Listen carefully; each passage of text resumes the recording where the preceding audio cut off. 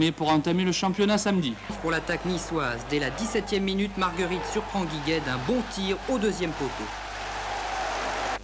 Toujours en première mi-temps, remise en touche du capitaine Joly qui glisse à Mingal. Celui-ci va s'y reprendre à deux fois pour centrer. Une faute de Perret et Dominguez, l'Argentin, réussit son premier but en championnat.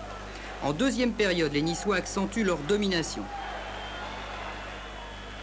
Un centre de Marguerite, renvoi très faible de la défense grenobloise et Mège d'un bon tir à ras de terre réussit le troisième but niçois.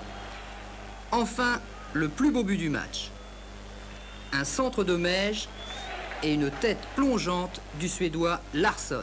4 à 0, de quoi satisfaire l'entraîneur Jean Séraphin. Oui, satisfait pour plusieurs raisons. D'une part parce que c'est la reprise, il fallait que les garçons reprennent les sensations du championnat.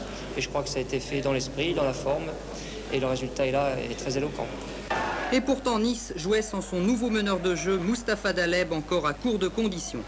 Mais Albert Gemrich, très à l'aise sous ses nouvelles couleurs, s'est révélé être un excellent distributeur. Et moi, il fallait qu'un attaquant revienne au milieu de terrain pour défendre un petit peu. Bon, ce rôle-là, j'aime bien le faire, j'aime bien me livrer. Et je crois que dans l'ensemble, c'était assez réussi.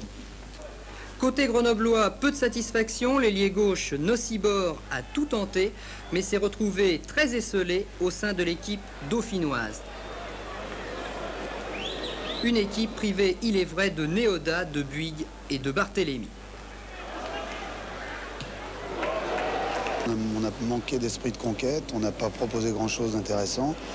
Mais bon, c'est un premier match. Alors, euh, c'est un premier match mal négocié, ça pose des problèmes pour le, match suivant contre Lyon. Mais je crois qu'on a une semaine pour se ressaisir et on va relever la tête pendant les, les six jours qui nous restent.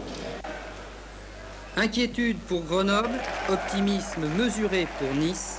Il est vrai que ce groupe B s'annonce particulièrement difficile avec la présence d'équipes expérimentées comme Lyon, Saint-Étienne ou Cannes. Dans le groupe A, Rennes s'est imposé à Amiens 2 à 0, but de MFD et Morin. Victoire